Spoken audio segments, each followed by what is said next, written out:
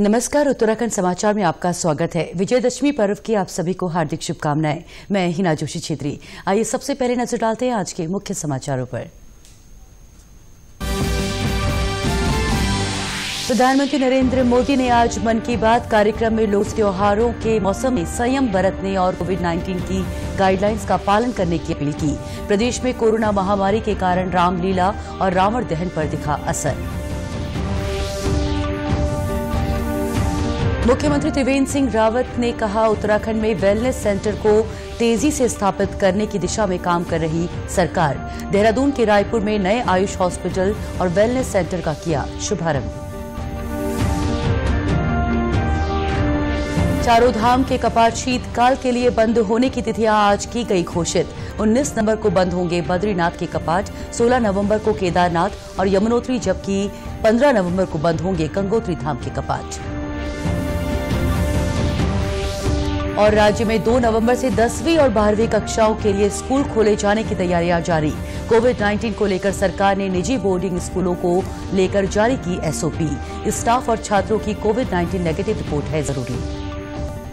अब समाचार विस्तार से। प्रधानमंत्री नरेंद्र मोदी ने लोगों से अपील की है कि वे त्योहारों के इस मौसम में बाज़ार से खरीदारी करते समय स्थानीय उत्पादों को प्राथमिकता दें। आकाशवाणी से मन की बात कार्यक्रम में अपने संबोधन में प्रधानमंत्री ने सभी लोगों से कहा कि वे वोकल फॉर लोकल के संकल्प को ध्यान में रखें। प्रधानमंत्री ने विजयदशमी पर लोगों को शुभकामनाएँ देते हुए कहा कि दशहरा न केवल असत्य पर सत्य की जीत है, बल्कि ये संकटों पर धैर्य की जीत का प्रतीक है। उन्होंने लोगों से कहा कि आगे कई त्यौहार आएँगे लेकिन कोविड संकट के दौरान धैर्य बनाए रखें और संयम से काम लें। इस बार बड़े बड़े आयोजन सब बंद है। अभी आगे और भी कई पर्व आने वाले हैं। अभी ईद है, शरद पूर्णिमा है, वाल्मीकि जयंती है, फिर धनतेरस, दिवाली भाई दूज छठी मैया की पूजा है, गुरु नानक देव जी की जयंती है। कोरोना के संकट काल में हमें संयम से ही काम लेना है, मर्यादा में ही रहना है। इस बार जब आप खरीदारी करने जाएँ तो वोकल फॉर लोकल का अपना संकल्प अवश्य याद रखें। बाज़ार से सामान खरीदते समय हमें स्थानीय उत्पादों को प्राथमिकता देनी है। प्रधानमंत्री ने कहा कि त्योहारों के इस दौर में हमें लॉकडाउन की अवधि को याद रखना चाहिए। जब लोगों को सफ़ाई कर्मियों, सब्ज़ी विक्रेताओं, दूध आपूर्तिकर्ताओं और सुरक्षा गार्ड के महत्व का पता चला। उन्होंने लोगों से सेवा प्रदान करने वाले ऐसे सभी व्यक्तियों को भी त्योहारों के इस मौसम में अपने उत्साह में शामिल करने को कहा। प्रधानमंत्री ने लोगों से उन बहादुर सैनिकों को याद रखने को भी कहा, जो सीमाओं पर देश की रक्षा कर रहे हैं। उन्होंने लोगों से कहा कि ऐसे वीर जवानों के सम्मान में दिया जलाएँ। राज्य में आज आस्था और श्रद्धा के साथ विजयदशमी का पर्व मनाया जा रहा है। कई लोगों ने आज नवरात्र का समापन किया। इस दौरान घरों में कन्या पूजन किया गया। मंदिरों में भी श्रद्धालु पहुँचे। अल्मोड़ा के नंदा देवी मंदिर में साल भर बड़ी संख्या में श्रद्धालु पहुँचते थे। मंदिर के पुजारी तारा दत्त जोशी ने बताया कि इस बार कोरोना गाइडलाइंस के अनुसार श्रद्धालुओं ने क्रमबद्ध देवी के दर्शन किए। वैसे तो वर्षों भर यहाँ पे पूजा पाठ चलते रहता है।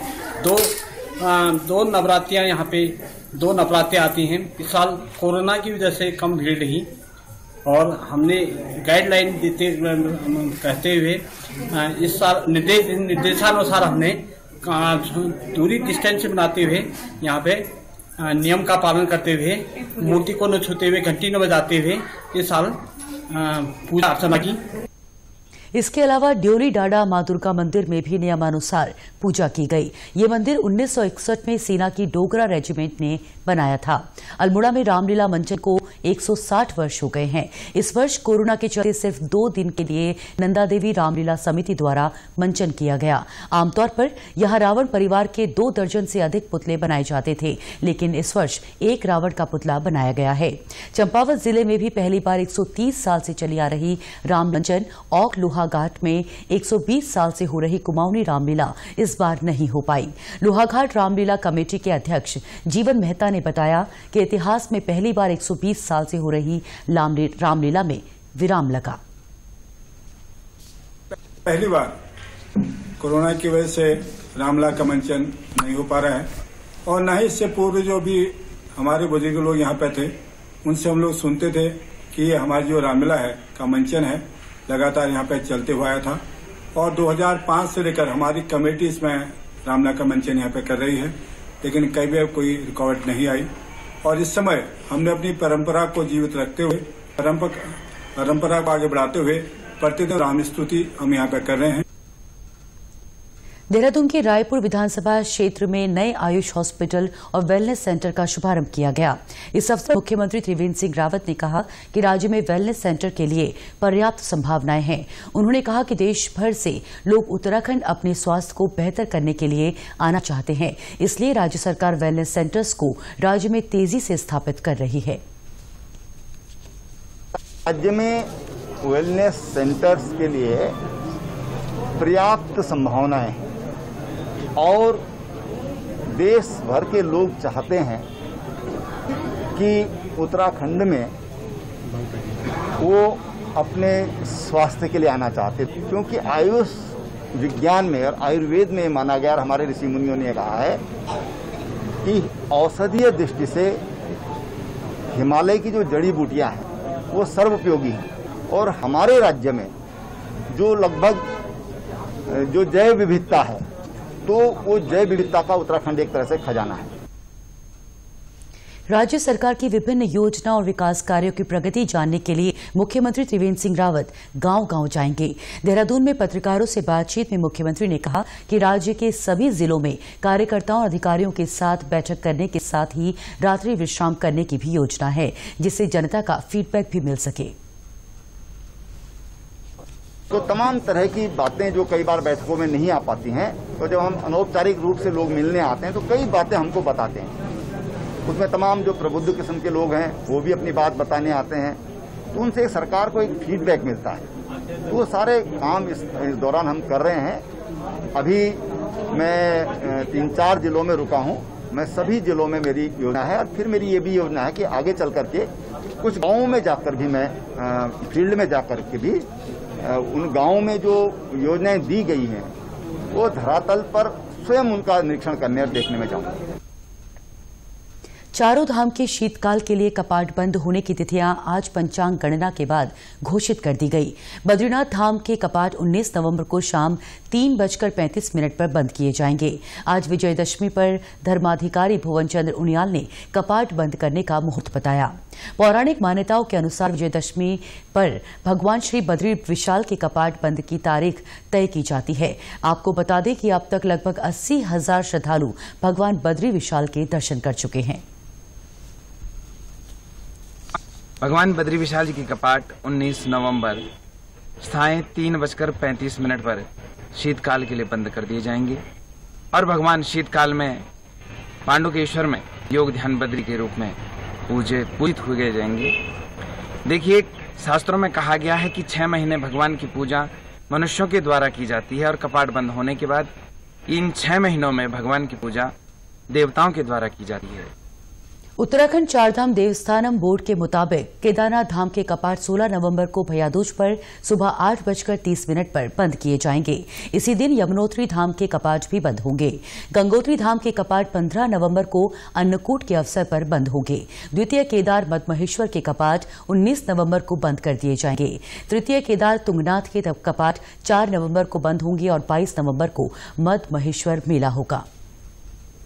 राज्य में 2 नवंबर से दसवीं और बारहवीं कक्षाओं के लिए स्कूल खुल रहे हैं। इसको देखते हुए सरकार ने सभी शिक्षा बोर्डों के निजी आवासीय विद्यालयों के लिए मानक संचालन प्रक्रिया यानी एसओपी जारी की है।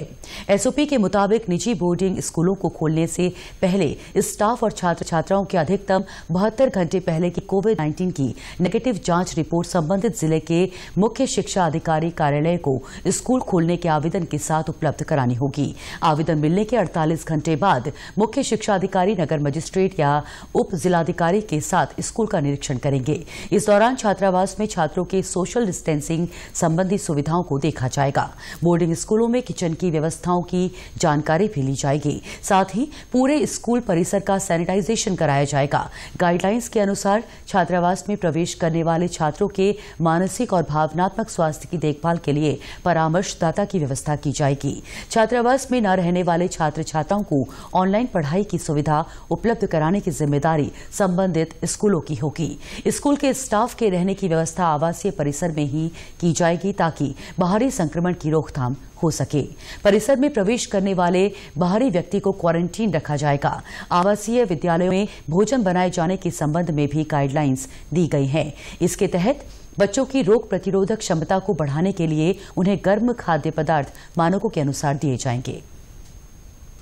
गोविंद बल्लभ पंत कृषि एवं प्रौद्योगिकी विश्वविद्यालय के वैज्ञानिकों ने डंक रहित मधुमक्खी पालन की नई तकनीक विकसित की है। इसमें रानी मधुमक्खी और श्रमिक मधुमक्खियों को बिना नुकसान पहुँचाए शहद निकाला जा सकता है। पंतनगर कृषि विश्वविद्यालय के कीट वैज्ञानिक डॉक्टर एम एस खान का कहना है कि डंक रहित मधुमक्खी पालन पूरे उत्तर भारत क्षेत्र में केवल पंतनगर में किया जा रहा है। उन्होंने बताया कि सालों के शोध के बाद इसके मल्टीप्लीकेशन और पालने की विधि इजाद की गई है इसमें सफलता ये पाई है कि हमने इसका मल्टीप्लिकेशन यानी एक तो डोमेस्टिकेशन कर लिया है, बक्सों में पालने की विधि विकसित कर ली है तकनीक विकसित की है, और दूसरा इसके अलावा इसकी जो मल्टीप्लिकेशन टेक्निक है, जो दूसरा उसको बढ़ावा कैसे दिया जा सकता है, वो भी टेक्निक को याद कर लिया है हमने। और ये उत्तर भारत में केवल पंतनगर में ही अभी काम चल रहा है। कीट वैज्ञानिक डॉक्टर एम एस खान कहते हैं कि इस तकनीक से मिले शहद में ज़्यादा औषधीय गुण होते हैं और ये बाज़ार में ढाई हज़ार से तीन हज़ार रुपये प्रति किलो की दर से बिकता है। साथ ही परागण क्रिया अधिक होने के कारण फ़सलों के उत्पादन पर भी अच्छा प्रभाव पड़ता है। किसानों के लिए और आम सभी के लिए जो परागण की क्रिया संपन्न करती हैं, उससे बहुत अधिक लाभ होता है। इस परागण की क्रिया में जो प्रोटेक्ट कल्टीवेशन है पॉली हाउस वगैरह में, उससे, उसको रखकर काफ़ी अच्छा लाभ कमाया जा सकता है, जिसमें कि जो दूसरी मधुमक्खी है, वो इतनी अच्छी कामयाब नहीं हो पाती है बहुत जगह पर जहाँ पे ये कामयाब हो जाती है। पंतनगर कृषि विश्वविद्यालय की वैज्ञानिक डॉक्टर पूनम श्रीवास्तव का कहना है कि कोरोना काल में डंक रहित मधुमक्खी के शहद से रोग प्रतिरोधक क्षमता बढ़ेगी। ग्रामीण महिलाएँ भी आसानी से मधुमक्खी पालन की इस नई तकनीक के ज़रिए आर्थिक रूप से मज़बूत हो सकती हैं। आमदनी के साथ में अगर शरीर का स्वास्थ्य भी अच्छा रहे तो कितनी अच्छी बात है। तो अगर हम इस शहद का इस्तेमाल करते हैं, जो डंक रही छोटी सी एक मधुमक्खी है, वो छोटे छोटे औषधीय फूलों पे जाकर शहद बनाती है, जिसकी औषधीय गुणवत्ता हमारी मधुमक्खी जो मेलीफेरा है, उससे कहीं अधिक है। तो उसका रस, उसका जो शहद अगर आप उपयोग में लेकर आते हैं तो उससे आपके स्वास्थ्य की प्रतिरोधक क्षमता बहुत बढ़ जाएगी। केंद्र सरकार को डंक रहित मधुमक्खी पालन को बढ़ावा देने का प्रस्ताव भेजा गया है ताकि इस पर और तेज़ी से काम किया जा सके। वित्त मंत्रालय ने कोविड 19 को देखते हुए कर्जदाताओं को बड़ी राहत दी है। मंत्रालय ने ऋण देने वाली संस्थाओं को 1 मार्च से 31 अगस्त 2020 तक के, के बीच कंपाउंड इंटरेस्ट और सिंपल इंटरेस्ट के बीच का अंतर कर्जदाताओं के अकाउंट में वापस लौटाने को कहा है। इस योजना का फ़ायदा उन लोगों को मिला जिन्होंने दो करोड़ से कम का कर्ज लिया है। देवभूमि व्यापार मंडल के अध्यक्ष विकास शर्मा ने सरकार के इस कदम का स्वागत किया है। आदमी किस्त नहीं दे पा रहा है तो अभी काम नहीं है। कोरोना काल में व्यापार पहले ही ठप हो चुका है और उसके बाद बैंक का तो ब्याज लग रहा है। हम नहीं जमा कर पा रहे तो फिर ब्याज पे ब्याज लग रहा है। तो कहीं ना कहीं जब सरकार ने व्यापारी को ये राहत दी है कि ठीक है, वो अपनी किस्त जमा करेगा, किस्त नहीं जमा कर पा रहा है तो उसका वो ब्याज देगा। तो वो व्यापारियों के लिए भी अच्छा है और इससे कहीं ना कहीं पैसा बचेगा। इसके लिए जिसने गाड़ी खरीद रखी है, जिसने अपना मकान बनाया हुआ है, नौकरी पेशा है तो उसको भी इसका लाभ मिलेगा। व्यापारी सुरेश खुराना का कहना है कि लॉकडाउन के दौरान खरीदी गई कार की किश्त देने में उन्हें समस्या आ रही थी, लेकिन सरकार के फैसले से उन्हें राहत मिली है। मैंने लॉकडाउन के दौरान एक कार खरीदी थी, जिसकी किश्तें देने में मुझे बहुत ही परेशानी हो रही थी। अब जबकि सरकार ने ये सारा लोन ब्याज पे ब्याज जो लोन पे ब्याज पे ब्याज पड़ रही थी, वो माफ़ कर दिया है। इसके लिए मैं सरकार का बहुत बहुत धन्यवाद करता हूँ। आशा करता हूँ इससे सभी को फ़ायदा मिलेगा। उत्तराखंड के समाचारों में आज बस इतना ही। उत्तराखंड की खबरों के लिए आप हमसे सोशल मीडिया पर भी जुड़ सकते हैं। हमारा ट्विटर हैंडल है DD news underscore score Dehradun. हमारा फेसबुक पेज है डीडी न्यूज़ उत्तराखंड और हमारे YouTube channel DD news Uttarakhand को सब्सक्राइब करना ना भूलें। कोरोना संक्रमण से बचने के लिए मास्क का अनिवार्य रूप से और सही ढंग से प्रयोग करें। साथ ही सामाजिक दूरी का ख्याल रखें, नियमित रूप से हाथ धोएँ और याद रखें, कोरोना को हराना है, मास्क ज़रूर लगाना है। नमस्कार।